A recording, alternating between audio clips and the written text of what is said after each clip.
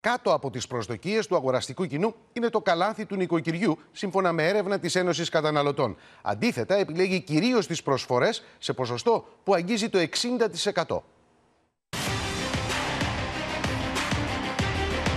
Το καλάθι του νοικοκυριού βοηθάει καθόλου ή όχι; Δεν το έχω κοιτάξει ποτέ. Τις προσφορές που είναι κάθε μέρα στα ράφια, αυτές παίρνω. Απογοητευμένοι εμφανίζονται οι καταναλωτές από το καλάθι του νοικοκυριού.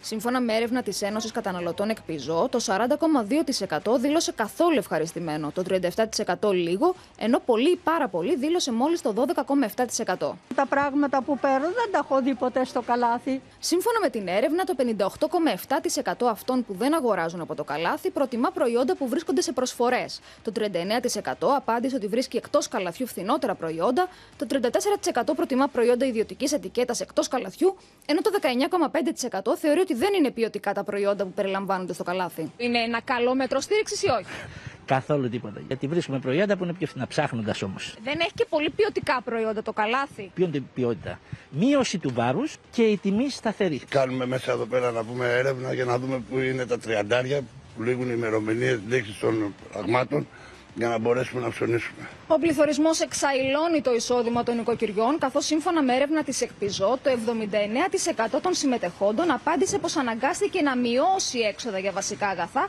γεγονός που πιστοποιεί ότι οι Έλληνες φτωχοποιήθηκαν από την ακρίβεια.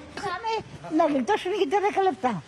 Και μέχρι πότε σα φτάνει η σύνταξη; Μέχρι τις 15. Την προηγούμενη εβδομάδα σχεδόν με αυτά τα προϊόντα ήταν γύρω στα 78, σήμερα είναι 85.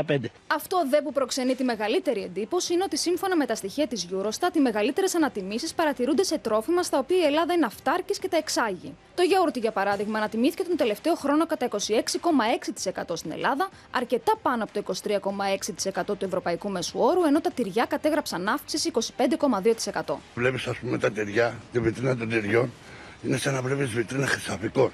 Οι πολίτες βλέπουν τον πληθωρισμό να υποχωρεί, την ώρα όμως που οι τιμές των τροφίμων εκτοξεύονται στα ύψη.